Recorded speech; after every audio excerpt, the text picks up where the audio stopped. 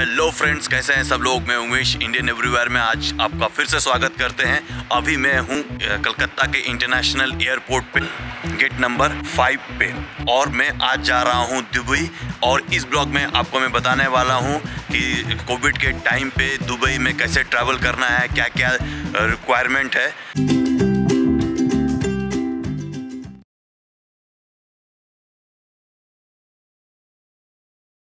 अभी सुबह के बज रहे हैं दो। मैं एक बजे करीबन आ गया था, मेरी फ़्लाइट है आठ बजे की। तो क्या जल्दी आने का कारण यही है कि मेरे को ना एक पीसीआर टेस्ट तो जो 48 आवर्स पहले करना वो तो मैंने सिटी में ही कर लिया था।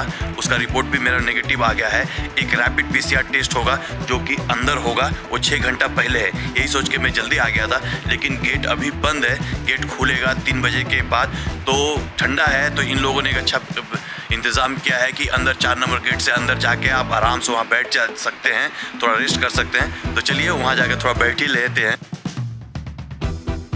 का माहौल तो ऐसा लग रहा है देखकर कि कोई स्टेशन पे आके बैठे हैं एयरपोर्ट पे नहीं। लोग नीचे सोए हुए चेयरों पे सोए हुए लेकिन लोग करें भी क्या तो करें। कितना देर वेट करेंगे ठंडा में बाहर? फिर से जाके चेक करता हूँ कि इंटरनेशनल का खुला कि नहीं खुला। काफ़ी देर तो अंदर बैठा था, ठंड काफ़ी है। अच्छा है कि अंदर बैठने का इंतज़ाम था। चले, देखते हैं। कोई गेट तो खुला नहीं है, लेकिन लोग तो लाइन में खड़े हो गए हैं। फाइनली काफ़ी जहद करने के बाद अंदर आ गए हैं और अंदर आते ही इस साइड पीसीआर टेस्ट हो रहा है रैपिड पीसीआर टेस्ट जिसका कीमत आज के है उनतीस सौ रुपये वहाँ पीछे देखो बारकोड है, उसको स्कैन करें और ऑनलाइन फॉर्म भरें और ऑनलाइन फॉर्म भर के पीछे जाएँ उधर। टोकन ऑनलाइन फॉर्म भरेंगे तो एक टोकन जनरेट हो रहा है। वो टोकन नंबर देंगे, आपको प्रिंट करके देंगे और यहाँ का कैश जमा दें और इस साइड पीछे टेस्टिंग हो रहा है और एक घंटे बाद रिपोर्ट मिलेगा। तब तो तक हम लोग यहीं वेट करेंगे। घंटे में रिपोर्ट भी आ गया रैपिड का। नेगेटिव है और एक बात, आप इधर आए तो इंडियन करेंसी ज़रूर लेकर आए। कई लोगों के पास नहीं थे, बड़े दिक्कत हो गए इन लोगों को। तो ये भी ध्यान रखें, तब जा रहा हूँ बोर्डिंग करने के लिए। कर रहे हैं ना, और आपके पास यूएस वीज़ा हो तो आपको दुबई में वीज़ा ऑन अराइवल मिलता है। ये बात आपको पता होगा तो मैं उसी का यूज़ करने वाला हूँ। लेकिन उसके लिए एक ये है कि आप जब भी बोर्डिंग करने आएँगे ना तो आपका जो वीज़ा का कॉपी है ना, ये लोग दुबई भेजते हैं। तो दुबई से अप्रूवल आएगा, तब मेरे को बोर्डिंग पास देंगे, और इससे ऑलरेडी बैग का टैग और सारा कुछ इन लोगों ने प्रिंट करके मेरे को दे दिया है।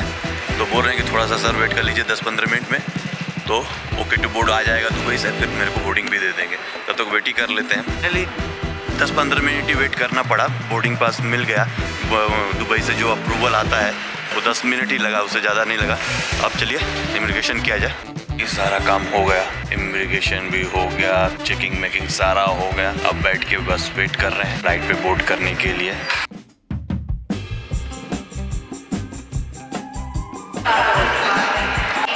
फाइनली बोर्डिंग कर रहे हैं fine thank you how are you Mr. Chaudhary, welcome back on board. Second line, please. Thank you flight के अंदर आ गए हैं एमरेट्स की फ़्लाइट्स तो क्या कहने सब समय बेहतरीन जैसा आपने देखा कि अभी कुछ देर पहले इन लोगों ने एक फ़ोटो खींचा मेरा मेरा ही नहीं जो जा रहे हैं उसका सबका खींच रहे थे तो उसका कुछ एंड रिज़ल्ट कुछ इस तरह का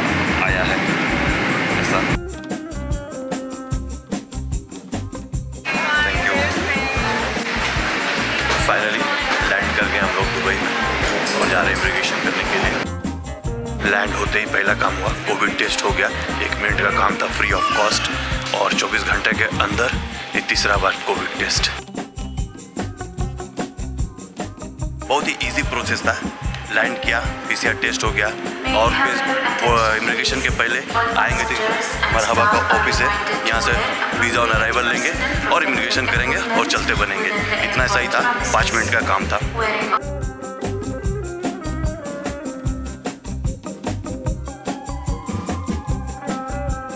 आधा घंटा भी नहीं हुआ हम लोगों को। कोविड टेस्ट भी हो गया, वीज़ा भी ले लिया, इमिग्रेशन भी कर लिया। अब बस यहाँ लगे जाने वाली है, उसका ही वेट कर रहे हैं। बहुत फास्ट और इजी प्रोसेस था।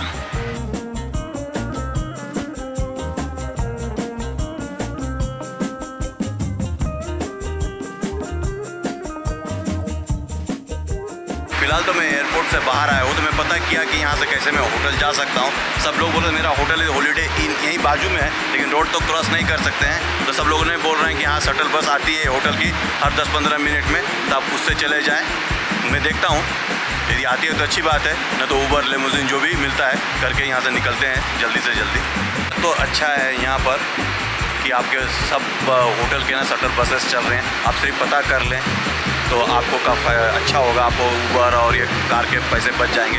जैसे मेरा इधर होटल का बस आ गया है ये बोल रहे हैं कि 10-15 मिनट में होटल में पहुँच जाऊँगा। इससे बेहतर क्या ही चाहिए? तो 10-15 मिनट वेटिंग कर लेते हैं। ऊबर से भी जाएँगे तो 10-15 मिनट लगना ही लगना है। रोड क्रॉस करके ही है, लेकिन क्रॉस करने के लिए पूरा लंबा टर्न लेकर आना है।